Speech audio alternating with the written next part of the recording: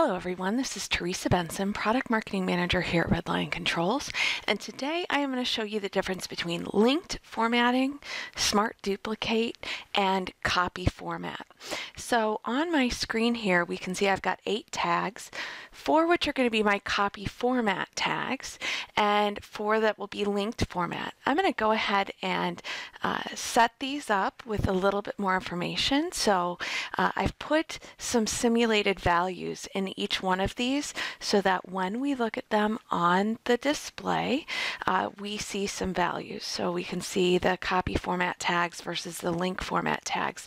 And for those of you wondering what those dots are, those help me align information on my screen and I get those by clicking on this hashtag here.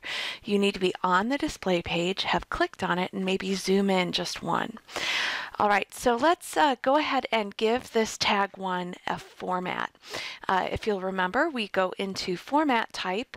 I'm going to pick numeric in this case, and I want one digit after the decimal point. So now I've got five digits before and one digit after. If I come back over here, I haven't yet clicked on the page, but as soon as I do, we see that now there is one digit past the decimal point.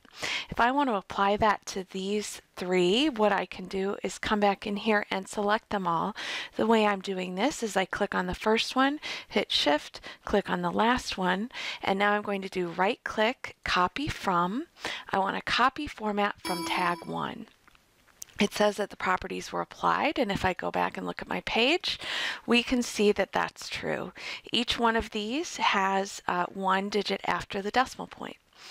That is great, except now if I want to change and add units to this, maybe this is gallons per minute. So I add a unit down here at the bottom. If I come back over, I only add it to this top item. Now it's really easy to go back through and just do right click copy from, copy format, and now we'll have that on all four again, but I'm going to show you a different way to go about doing this, and that's using a feature called link format. So I'm going to use tag one as my prototype for the formats for the other three here. And let's go ahead and choose numeric again. In this case, maybe I want two decimals after the decimal point and let's go ahead and add in our units. Maybe this is uh, in meters. All right. So what I'm going to do now is just double check that that came through and it sure did 5.03 meters. Now I am going to link the format for this tag to the tag ahead of it. So I'm going to do pick. I'm going to choose linked instead.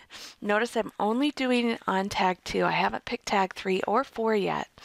Now what I'm going to do is drag that link format tag 1 on over from the resource pane. We don't take it from the navigation pane on the left. We're going to drag it over from the right. And now we'll see that tag 2 is the same format as tag 1. To quickly add that to the other two tags, I'm going to right click copy from format. I'm going to choose tag 2 because that's the format I want to copy. And now if I come over here, they all match. Now what happens if instead of meters, this was supposed to be I don't know, yards. I can come back in here and by changing the suffix on this one, you'll remember when I did it before on the copy format tag, it only changed the first one.